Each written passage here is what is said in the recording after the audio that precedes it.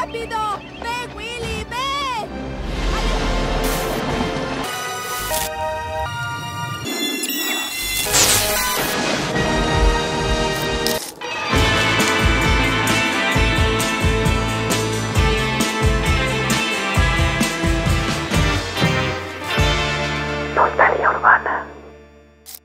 Los finales no siempre son felices como en las películas, tal como sucedió con Keiko, la orca de Liberen a Willy, que murió solo y confundido. Era el año de 1985 cuando Keiko llegó a México, a lo que sería su nuevo hogar, Reino Aventura, hoy Six Flags.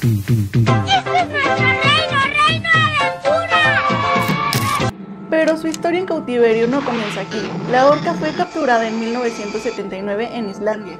Tenía aproximadamente dos años de edad. La vendieron a un acuario islandés y posteriormente vivió en Ontario, Canadá. Ahí le salieron lesiones por la falta de movilidad debido al poco espacio que tenía. Esto llevó a que Keiko fuera vendido y reubicado en la capital de nuestro país.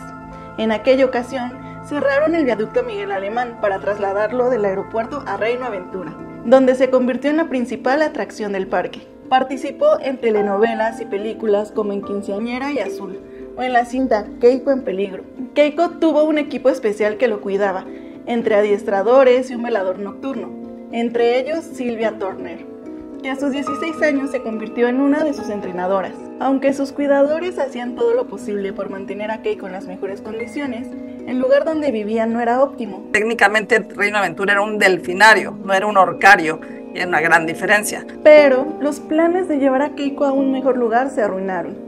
Resulta que desde que llegó a México ya tenía una lesión en la piel.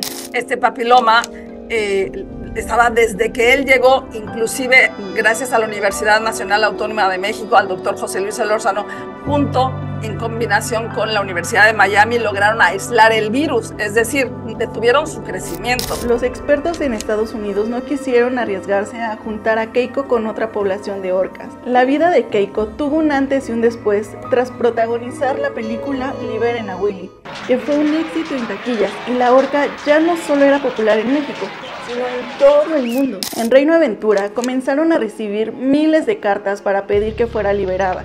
Incluso en 1995 se creó la fundación Liberen a Keiko Willy, que recaudó hasta 20 millones de dólares en donaciones.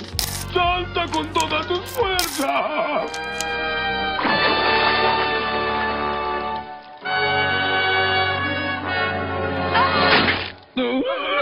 Willy no lo logró y aplastó a nuestro hijo.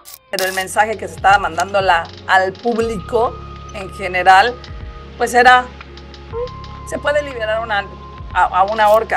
El parque decidió donar a Keiko y lo trasladaron a Oregon Coast Aquarium, donde después de mucho tiempo volvió a estar en agua salada. Inició el proceso de recuperación. Lo intentaron entrenar para que aprendiera a cazar su propio alimento e ignorar los barcos humanos, para que se volviera independiente. Iban a liberar a la orca en 1998, pero debido a problemas de salud se retrasó. Y fue hasta el 11 de julio de 2002 que la regresaron a su hábitat natural en las costas de Islandia. La liberación fue un final anunciado.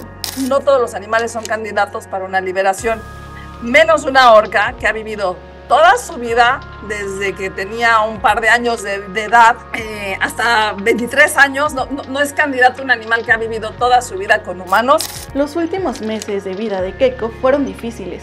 Otras orcas lo rechazaban y buscaba el contacto humano. ¿Cómo vivió? Como solo, solo, como que como descontrolado, como confundido. Eh, también a mis alumnos en, en los cursos que doy siempre les digo, ¿se acuerdan los videos que vemos en Instagram y en Facebook de que va la gente a abandonar a sus perritos a las carreteras y los perros se quedan así y empiezan a correr los perritos atrás de los coches y se te hace un nudo en la garganta porque vemos esas imágenes? Bueno, así se me figura lo que pasó con Keiko. Es injusto lo que la decisión de los ignorantes le hizo a Keiko. El 12 de diciembre de 2003, Keiko fue encontrado muerto. La causa que manejaron de manera oficial fue neumonía, sin embargo, no se realizó una necropsia y se desconoce en qué condiciones estaba. La esperanza de vida de las orcas macho es de 60 años y Keiko tenía solo 27 al momento de su muerte. Keiko, la orca que se volvió un ícono en la Ciudad de México, murió solo, confundido, abandonado, sin realmente haber conseguido la libertad.